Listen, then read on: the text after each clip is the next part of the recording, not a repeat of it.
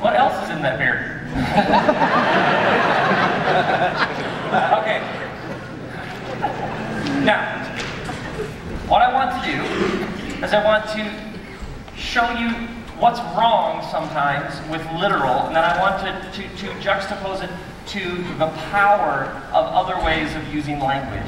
So, uh, this is a song that I wrote. It's called, uh, the title's pretty sweet, True Worship Song That's Awesome.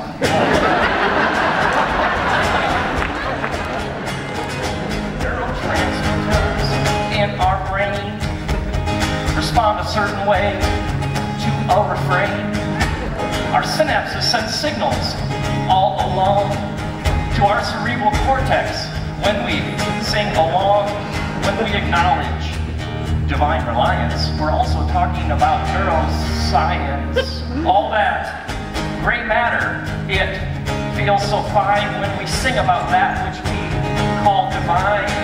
Amen.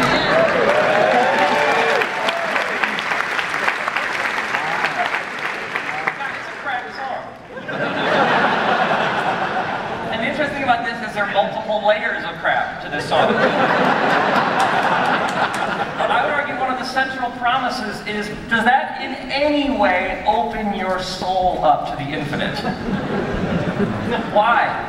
Because it's literal. By the way, let's just pause for a moment. No one takes the Bible literally. No one. If that's the case, every Baptist man would be blind. So,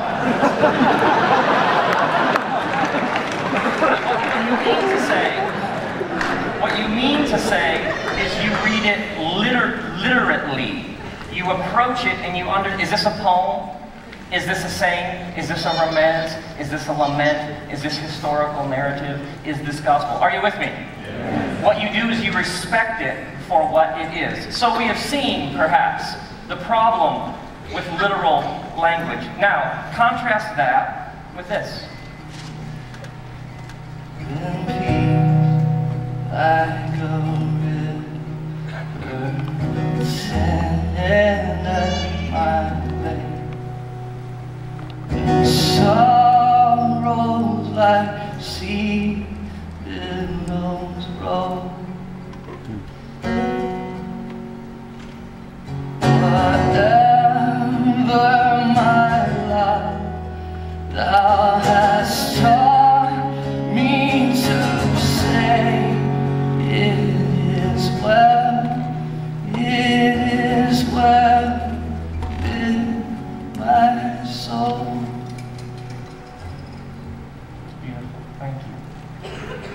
Now, sorrows like sea billows.